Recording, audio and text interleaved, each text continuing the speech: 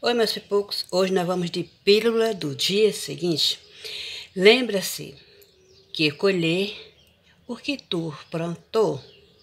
Acredite que se você semear um bom dia, com certeza você vai ter aquele bom dia. Se você semear, vá para baixa da égua, com certeza você também vai colher. Por mais difícil que seja, Fique alerta.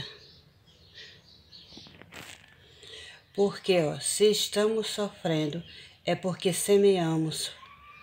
Então estamos colhendo fruto amargo, que nós espalhamos a semente no mundo afora, na vida das pessoas, famílias, amigos e inimigos. Então vamos tentar plantar sementes boas, semente do amor, para colher o amanhã frutos doces e alegres da felicidade. Cada um colhe exatamente aquilo que plantou. Eu sei que é difícil, mas não é impossível.